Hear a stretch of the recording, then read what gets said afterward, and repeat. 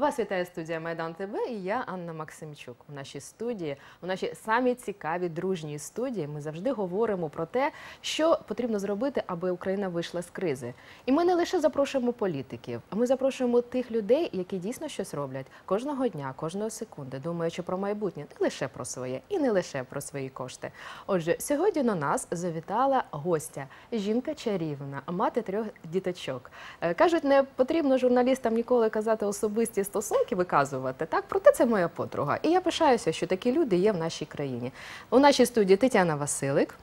а, Громадський діяч, меценат, директор благодійного фонду зміцнення громад, а також депутат е, Хмельницької обласної ради. Вітаю! Доброго дня, шановні друзі. Доброго дня, Анна. Щиро рада зустрічі. Зустрічі у серці Києва на Хрещатику так. 26. І не дивлячись на те, що Хрещатик 26 е, став на сьогодні таким майданчиком розбірок е, між владою та журналістами. Ми сподіваємось на те, що громадськість нас підтримує і зрозуміє, що громадське телебачення повинно бути, адже воно несе правду. Отже. Тетяночка, хотіла вас запитати про ваші соціальні ініціативи, які ви підіймаєте в Шпетівці, в Хмельницькому взагалі, і про те, як ці ініціативи об'єднують молодь. Е, Стимулюють громадськість, е, громадські об'єднання, які у вас є, тому що зараз багато створюється хабів, е, майданчиків всіляких, які потребують там і грантової підтримки, і підтримки нашої держави. Проте цікаво дізнатися, що робите ви і на якому вже етапі все це. Дякую за запитання, Анна. Насправді громадська робота це дуже особлива річ, це покликання і бажання діяти разом, гуртувати людей, тому що ми можемо нарікати на будь-які обставини, ситуації, які нас оточують. Можемо говорити про діяльність чи бездіяльність влади, але разом з тим насправді усе залежить від нас, від того, наскільки ми можемо об'єднати свої сили, знання, ресурси і рухатися вперед.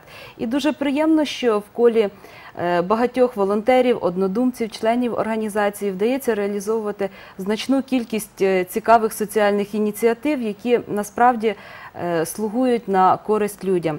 Зокрема, е, один із таких нових цікавих проєктів це е, започаткування роботи громадського хабу Hub for You. Е, с- це територія вільного простору, спілкування, діалогу, можливостей для розвитку як громадських ініціатив, громадських організацій, так і просто небайдужих людей, які мріють е, змінювати життя і докладають до цього зусиль. Хто залучається до Hub for You? Хто приходить до вас і що там відбувається?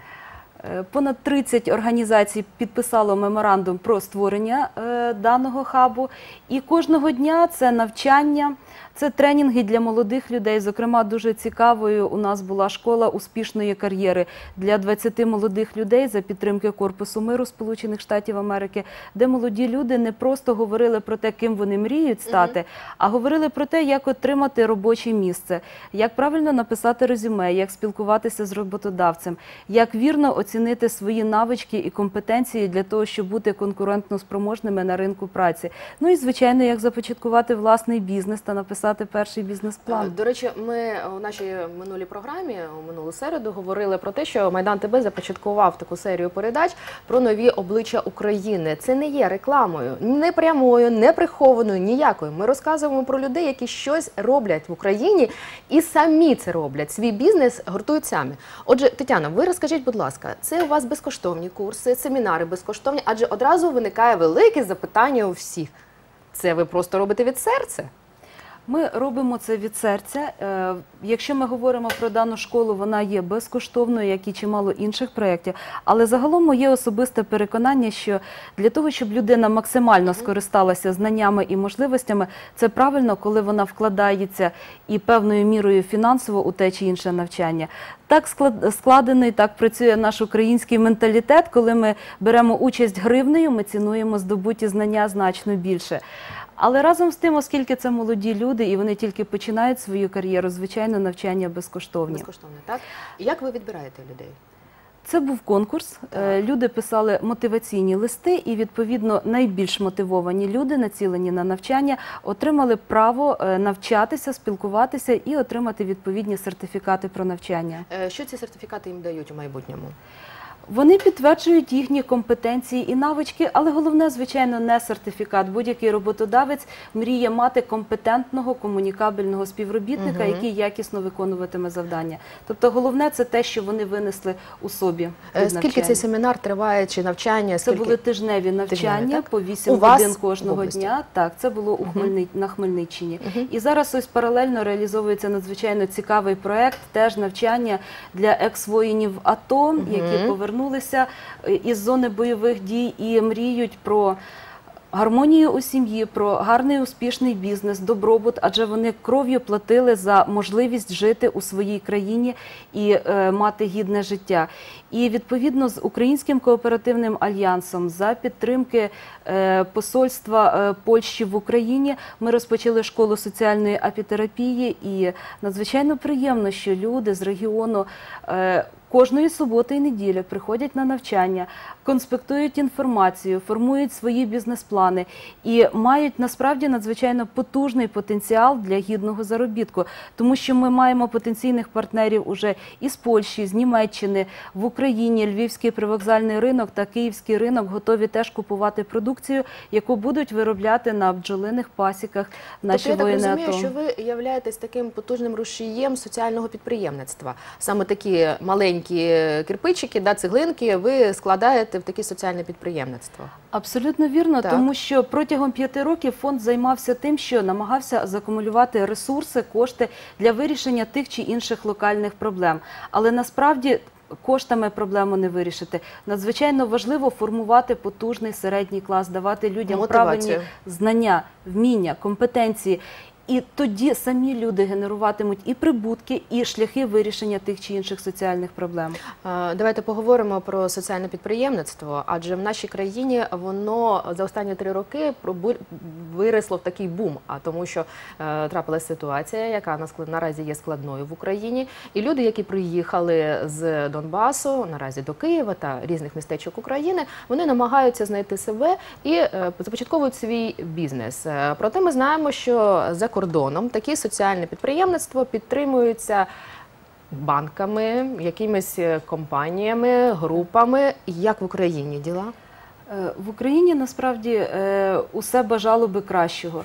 Тому що розмови про це ведуться, і це приємно, що є певний такий публічний розголос, піднімається тема соціального підприємництва, але жодних механізмів, які би відрізняли або створювали певні податкові пільги для соціального підприємництва порівняно з загальним підприємництвом, на жаль, не існує. Але разом з тим тенденції в суспільстві відображають таку ситуацію, що люди, незважаючи на відсутність будь-яких переваг, е, все-таки готові частину прибутку з власного бізнесу жертвувати на соціальні проблеми. І це є надзвичайно важливим. Це той каталізатор, який насправді е, переконана, чим далі більше привертатиме увагу суспільства в цілому. А відтак е, депутати різних рівнів, особливо наші законотворці, е, будуть поставлені перед фактом, що необхідно таки підтримувати дані ініціативи, тому що це набирає всенародного руху і об'єму. Ну, дивіться, от е, для прикладу візьмемо Німеччину. Е, Там наразі існує 100 тисяч е, соціальних підприємств, яких е, зайняті 2,5 мільйони людей, які приносять прибуток е, і прибуток до державної скриньки.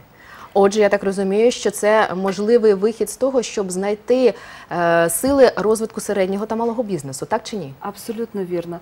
Будь-який підприємець, який свідомо працює, чесно сплачує податки, це вже суттєва підтримка для формування і бюджету держави, а головне для формування думаючих, знаючих і працюючих людей в Україні, тому що нікому не секрет, наскільки складною є ситуація, як казав мій е, добрий колега Зиновій Свирида, е, цитував таку фразу Врятуй державу, помри до пенсії. Насправді е, надходження в український бюджет і в пенсійний фонд є надзвичайно малими. Нам потрібно люди, які заробляють кошти і сплачують, наповнюють казну для того, щоб функціонував взагалі механізм держави, і ми мали потужну економіку, а не в черговий раз протягували руку, дайте нам кредити, пільги, дотації. Хто знає, коли наші діти з ними Ну, розрахуються. і ми розуміємо, що вже Україна попала до такої кабали, е, з якою ми там не можемо вискочити. Як раніше там казали, ось тобі бабка Юрій в день, да? тепер треба казати, ось тобі бабка Петрів в день. Напевне, так я розумію. Да? А, тому що ситуація надскладна в Україні, і е, як держава допомагає? Тобто є вже. Люди, які хочуть створити соціальне підприємництво, до кого вони звертаються? Що робити? Тому що ті, хто у нас були в гостях, е, ті, хто саморучно там самовласно робили свій бізнес, вони кажуть, що вони розраховують лише на себе, лише на себе. Абсолютно так. Розраховувати потрібно тільки на себе, ну і в тому числі на підтримку різноманітних е, громадських ініціатив, тому що це тема насправді громадської діяльності. Багато фондів організацій надає консультаційну методичну допомогу. Е, Існує багато грантів на підтримку соціального підприємництва. Е, Зокрема, знаю, що фонд Східна Європа випустив прекрасний методичний посібник, який розповідає про секрети соціального підприємництва і акцентує увагу, яким чином можна бути успішними. Люди об'єднуються, підтримуючи один одного. Е, Знаю наскільки потужною є потужним є інструментарій підтримки у Польщі, тому що була там з візитом, знайомилася з діяльністю соціальних підприємств. В Україні такий інструментарій забезпечують тільки громадські ініціативи і тільки ось така система взаємної допомоги один одному. А ми можемо запозичити, наприклад, з Польщі таку схему підтримки, чи ми потрібно щось придумувати, вигадувати наше суто українське? Абсолютно не потрібно цього робити, тому що є дієві механізми. Зокрема, знайомилися з роботою е, агенції регіонального розвитку е, у Жешові, е, де створено загалом технопарк для молодих підприємців.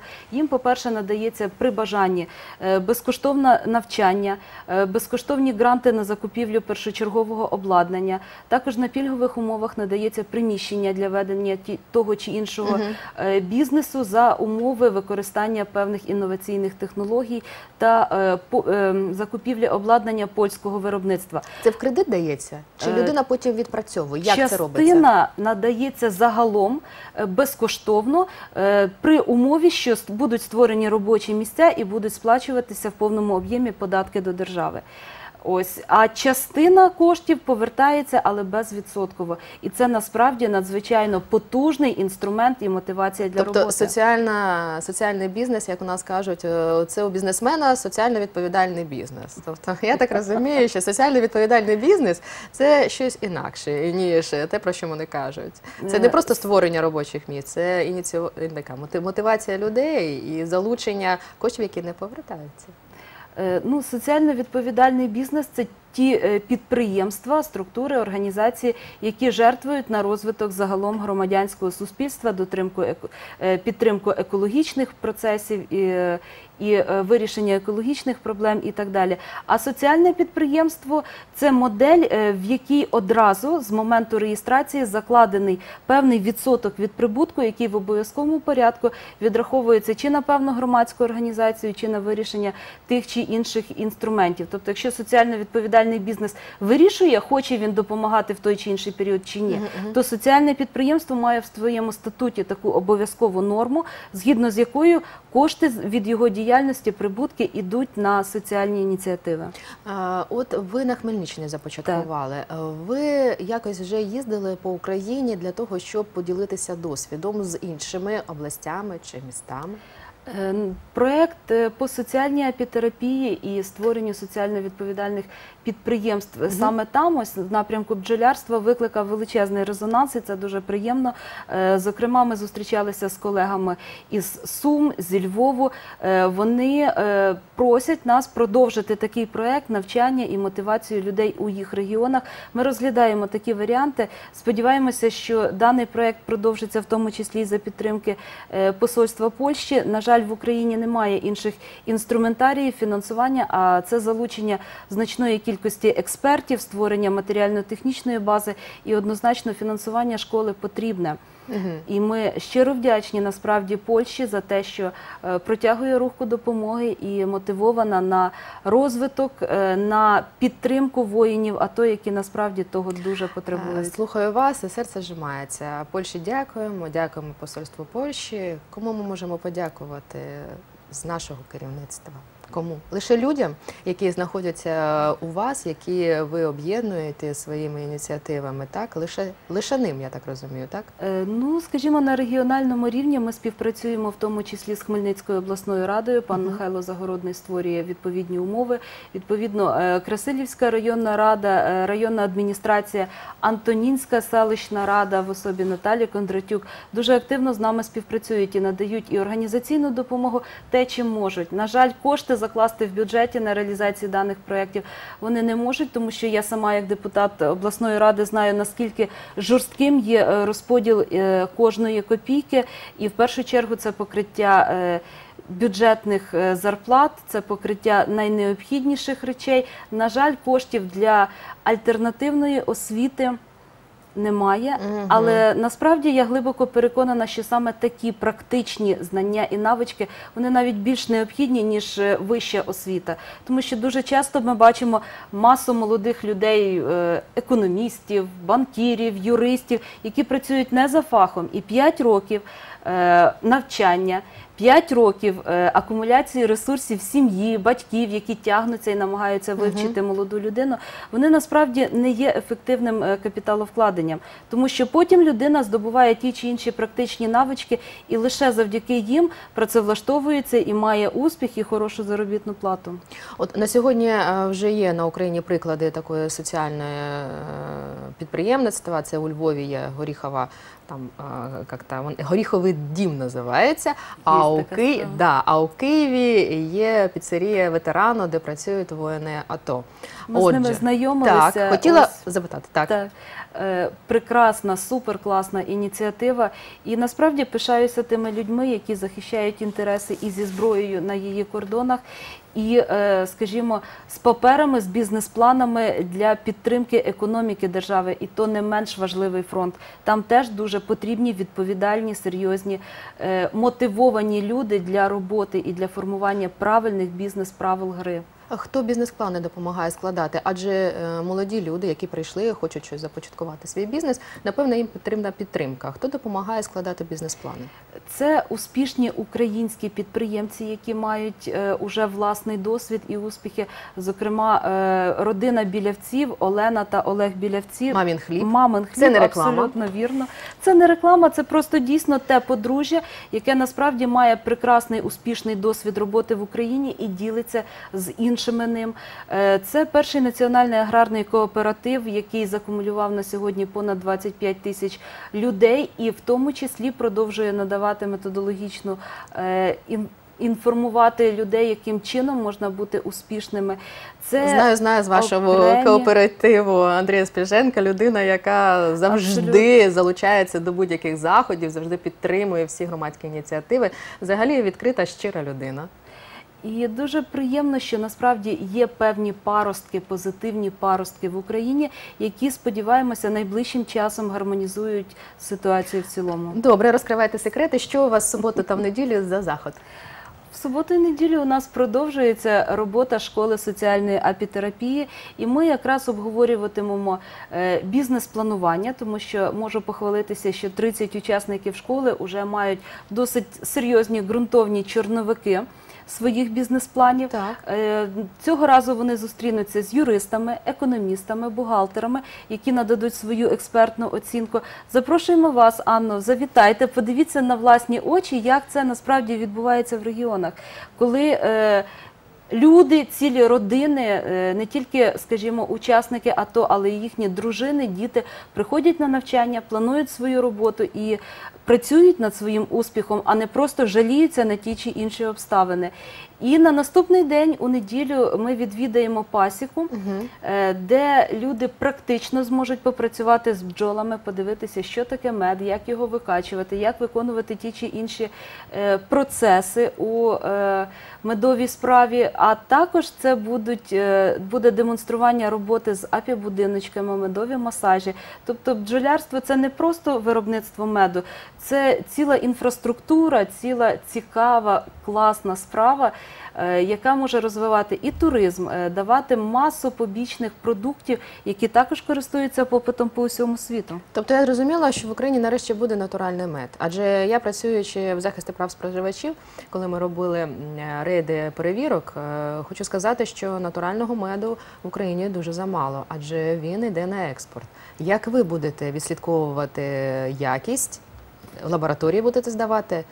Один із напрямів бізнес-планування е, готує знову ж таки проект на е, придбання лабораторного обладнання і можливість у регіоні робити лабораторні досвіди, тому що якість, безумовно, це позиція номер один, яка би давала людям можливість отримувати справедливу ціну за свою продукцію. Е, Як знайти можна вашу продукцію? Як вона буде маркуватися? Ви вже продумали про це? Як буде бренд, можливо, якийсь назватися, для того, щоб люди вже розуміли, що їм шукати на полицях чи на базарах? Дякую за запитання. Воно є дуже важливим.